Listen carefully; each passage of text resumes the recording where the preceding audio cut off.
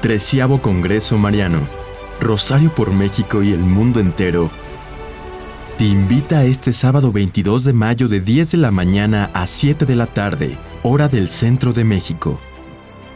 La transmisión se llevará a cabo de manera virtual a través de Mundo Católico, María Visión, Misión Fátima y Rosario por México. No te lo pierdas. Treceavo Congreso Mariano.